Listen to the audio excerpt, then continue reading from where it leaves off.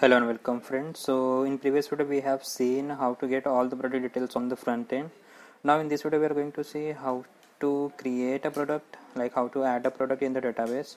So uh, I have created a link on this button and click on this button we will redirect to the product operation page. So let me click on that. Yeah so here we are able to see the product page where we can add the product. And on click on add uh, it will uh, uh, give me the like uh, message as the record has been inserted. So category as the IP and this one is IH20 and 15 this one add product. And it will add in the database and it will give me the message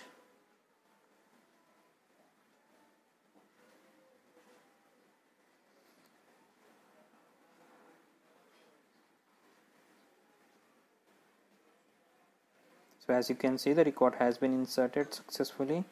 And the, the uh, data which we have added here is this one. IPIS 20 and this is the amount like rate. Stock in stock is uh, currently it will be the zero.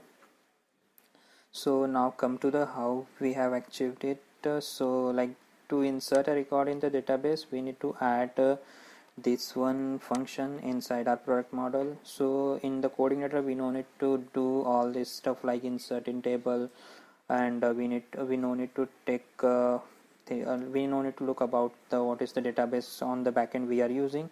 So we just need to call the function of the CodeIgniter as the db insert product as the form array. So form array will be have the mapping like uh, what are the fields and how to map with the database column so come to the next part. Now first we look into the users pay users account p.php file.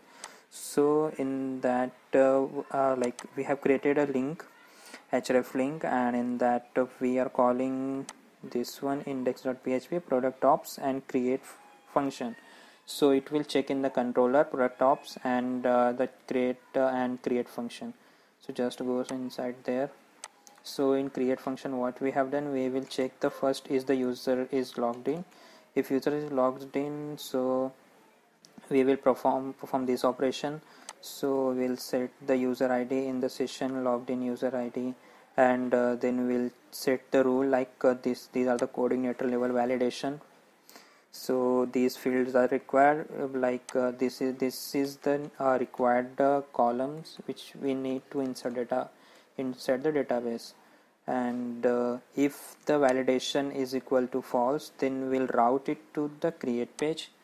Or if it is the like uh, if it is true then uh, we are gonna perform the database operation. So in the form array we need to pass each and every column which we have specified in the database. Like form p code equals to this is the p code which is the coming from the form and same as the p category. So these are the column which I have configured on the database. As you can see p code p category p party p rate. Like this we need to specify here also in our code.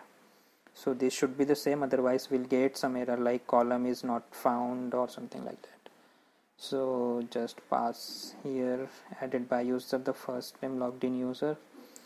Okay this is the extra column which we can say something log purpose like which user has added and at what time the product got added on the database. And then we'll load the model and we'll call the create function. If the this is like success then we are going to set the flash data uh, on the success on this uh, like we are going to set uh, the flash data on the session. And as the record inserted successfully and if this everything is okay then we'll route to the user slash account. So what user slash account do? Users it will go inside the users and it will call the account page. Account page again it will check the user logged in and it will load all the product data and it will redirect me to again to user slash account page.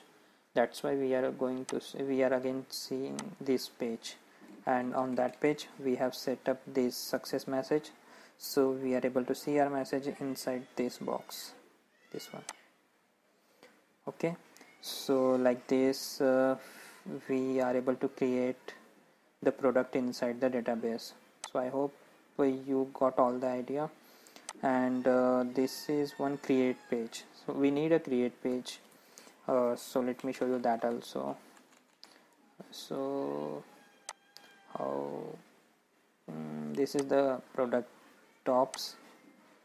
So if the validation if the validation is false so we are gonna route it to the user slash create page.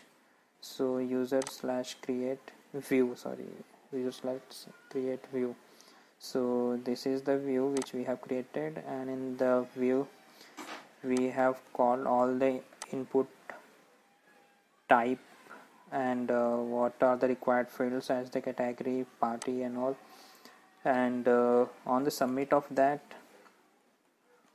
on submit of that uh, we add product.